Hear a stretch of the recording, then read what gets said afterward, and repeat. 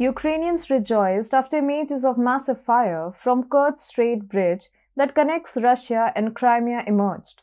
In the images, many railway carriages were completely consumed in flames and two spans of the road bridge were submerged in water. Some on social media were found saying, birthday gift for Putin, as the Russian president celebrates his 70th birthday. Alas, the happiness didn't last long. Hello and welcome to TFI Global, the foreign affairs and geopolitical analysis arm of the TFI Media Group.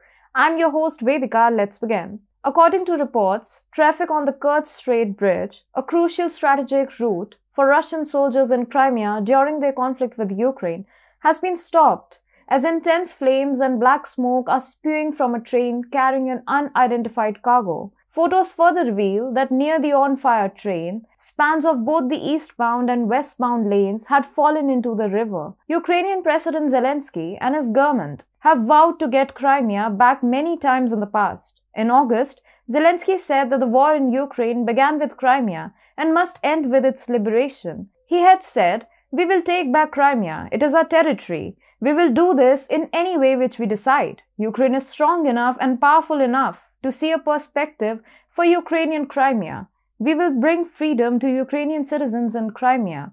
The bridge was one of Ukraine's top targets and it cost billions to construct after Russia annexed Crimea in 2014. Even the Pentagon has openly said that it believes Ukrainian forces may have successfully attacked the bridge. In an effort to defend itself against an assault in recent months, Russia has set up air defenses and decoy barges. After staying seven days in YT jail, we are back. We don't know if they'll allow us to stay peacefully.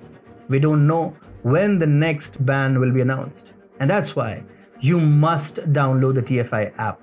Apple users can simply go to the App Store, search for TFI Global, and install the app.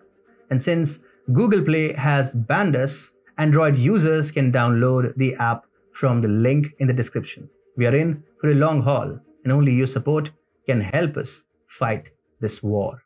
As the reports come, Ukraine did a cowardly terrorist attack with the help of a truck bomb on the bridge as it lacked conventional weapons that could be used to attack it from a great distance. The Crimean bridge bombing was celebrated all day long on Twitter by the Ukrainian administration, its intelligence agencies, and media openly exulted over the operation. The level of happiness in Ukraine is such that the country's post office unveiled a commemorative stamp on the attack. Advisor to the head of the office of President of Ukraine, Volodymyr Zelensky, tweeted, Crimea, the bridge, the beginning. Everything illegal must be destroyed. Everything stolen must be returned to Ukraine. Everything occupied by Russia must be expelled.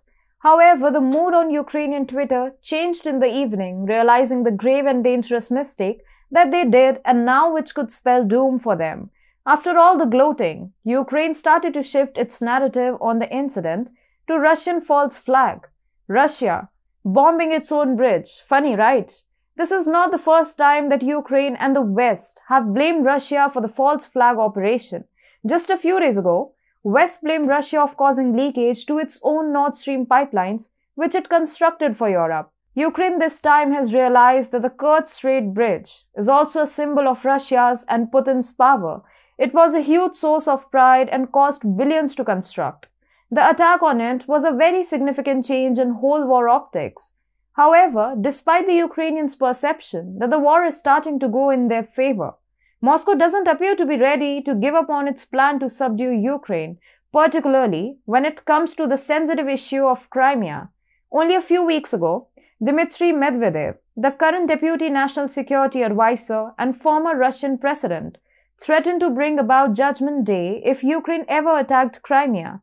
Geopolitical experts say that it's pure fantasy of Ukraine to dream that they can push Russians out of Crimea and by provoking Russia on a sensitive subject like Crimea, it has put its hand in beehive.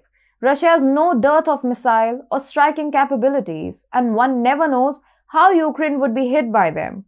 Zelensky and his administration should realize that provoking Russia is surely not the right way to go ahead. Zelensky must be reminded of writer H.G. Wells' historical lines If we don't end the war, the war will end us.